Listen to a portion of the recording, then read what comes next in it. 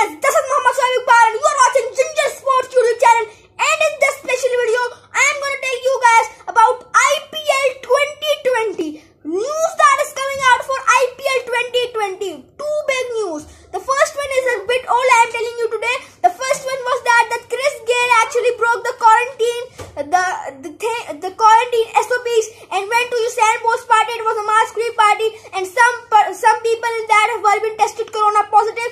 Now Chris Gayle is tested corona negative and now has reached UAE. He is in self-isolation at the current moment and he is corona free. He did two tests. So right now, the IPL is right now corona free. Now coming on to the big IPL schedule news. The IPL schedule is being delayed and delayed. First we are hearing we will get it in one, two days. Now it's getting delayed and delayed. I have a confirmed date. I'm going to tell you the confirmed date when the IPL 2020 schedule will be announced. But before that, I'll tell you what, every IPL news you're gonna get in this channel, every single team review you're gonna get in this channel soon as well.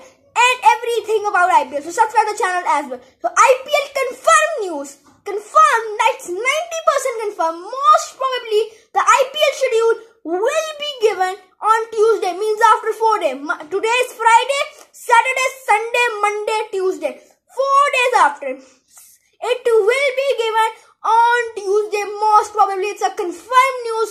90% confirmed news that I am telling you guys right now.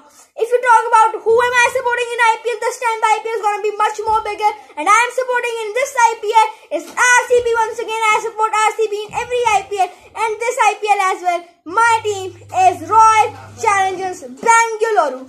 So that's all I can tell you guys. It's going to be a much more interesting IPL. So we will watch it together. Bye bye till the next time.